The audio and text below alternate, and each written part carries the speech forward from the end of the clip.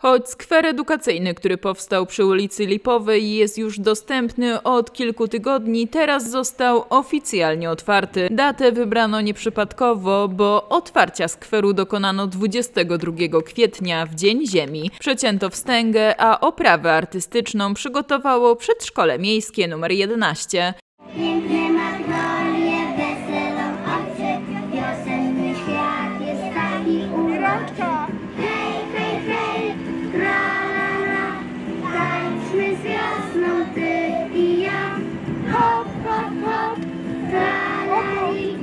Jos não zatajnisz Przemiana skweru, na którym dawniej stała fontanna, w ścieżkę edukacyjną to inicjatywa Miejskiego Przedsiębiorstwa Wodociągów i Kanalizacji w Lesznie. Fundusze pochodzą z Wojewódzkiego Funduszu Ochrony Środowiska i Gospodarki Wodnej w Poznaniu. Na skwerze stanęły tablice oraz urządzenia dydaktyczne, zostały zasadzone drzewa, a sam teren zyskał rolę bioretencyjną. Jest tu przepuszczalna nawierzchnia mineralna oraz łąki kwietne, nie zabrakło także miejsca dla pszczół, murarek. Tematyka ścieżki poświęcona jest przede wszystkim wodzie i ochronie jej zasobów. Ścieżka edukacyjna została wyposażona w tablice dydaktyczne, w tym również takie, które mają formę gier dla najmłodszych. Jest też urządzenie edukacyjne przedstawiające zjawisko tworzenia się wirów wodnych oraz instalacja multimedialna. Na terenie ścieżki zostało zlokalizowane źródełko wody pitnej. Urządzenie wyposażone jest w system samopłukania dla bardziej